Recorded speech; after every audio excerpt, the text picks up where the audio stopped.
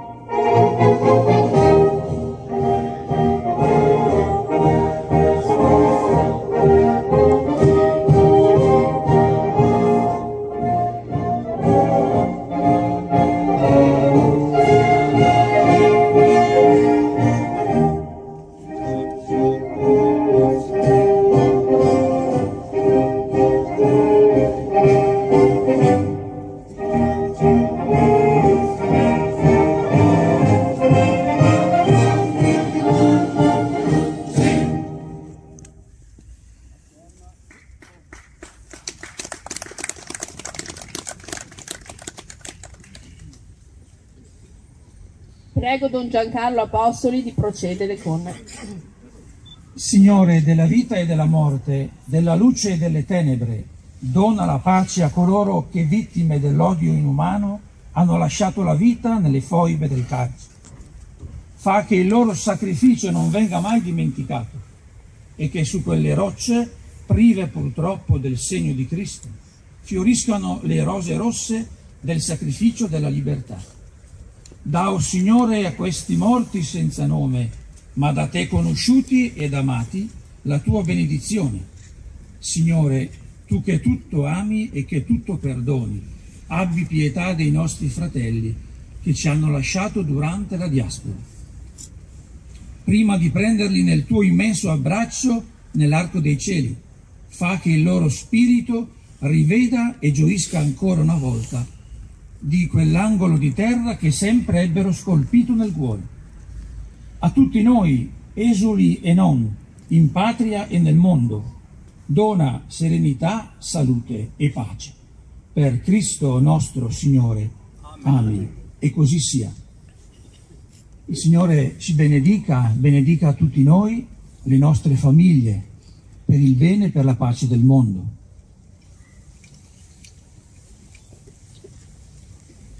Nel nome del Padre, del Figlio e dello Spirito Santo. Amen.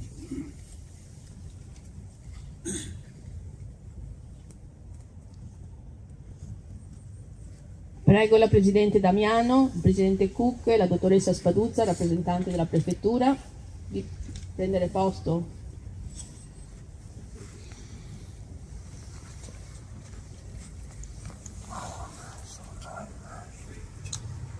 Procediamo con la deposizione.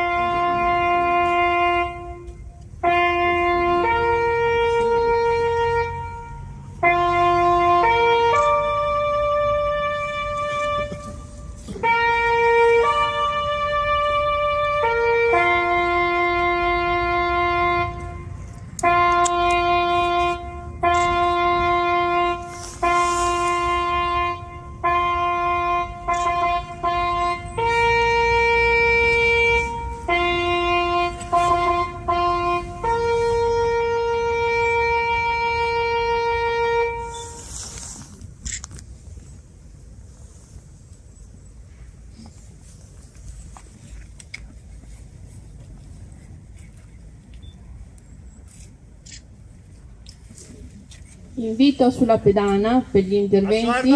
Riposo! Invito sulla pedana per gli interventi la Presidente Damiano, il Presidente Cook e il Presidente della... del Consiglio Comunale di Venezia, Ermelinda Damiano. Buongiorno a tutti, si rinnova anche quest'anno con sentimento e partecipazione alla cerimonia ufficiale del giorno del ricordo qui nel piazzale Martiri Giuliani e Dalmati delle Foibe, che a vent'anni dalla sua intitolazione esprime sempre un valore simbolico molto significativo. Un'intitolazione che ha preceduto di gran lunga una legge dello Stato, la legge 92 del 2004, attraverso la quale, dopo un periodo lunghissimo di ingiusto silenzio, è stato istituito il 10 febbraio quale giorno del ricordo, al fine di conservare e rinnovare la memoria della tragedia degli italiani e di tutte le vittime delle foibe, dell'esodo dalle loro terre degli istriani, fiumani e dalmati nel secondo dopoguerra e della più complessa vicenda del confine orientale. La tragedia dell'esodo e delle foibe rappresenta uno dei capitoli bui della nostra storia, una triste e dolorosa vicenda per troppo tempo ignorata, taciuta o addirittura negata. Uno strappo che tutti noi siamo chiamati con impegno e dovere morale a ricucire. È per questo che il Comune di Venezia da anni, con grande attenzione e sensibilità, dedica l'intero mese di febbraio al ricordo, organizzando insieme all'Associazione Venezia Giulia e Dalmazia, a enti, associazioni e istituzioni culturali del territorio, numerosi momenti di approfondimento e riflessione collettiva. Iniziative che di anno in anno sono cresciute. Quest'anno è stato ricordato, sono oltre 40. Occasioni importanti che pongono Venezia tra quelle città che non si limitano all'aspetto puramente commemorativo, ma che vogliono stimolare la conoscenza e le doverose riflessioni su quei drammatici avvenimenti storici che hanno coinvolto il nostro Paese.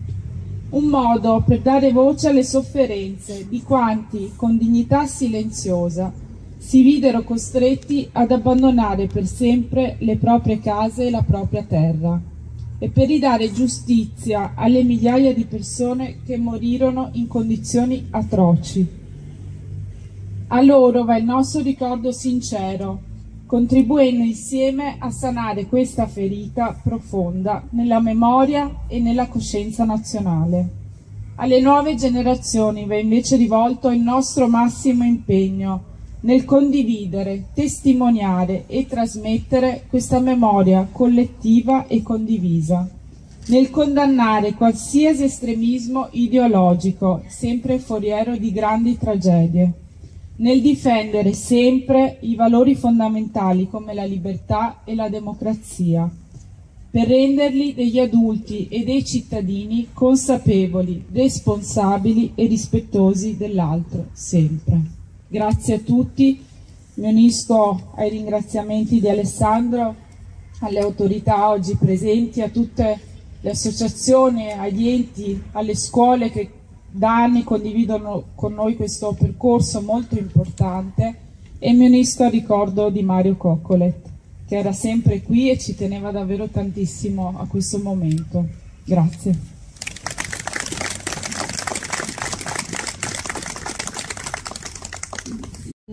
Eh, una, con la partecipazione dei bambini della scuola dell'Istituto Comprensivo Grimani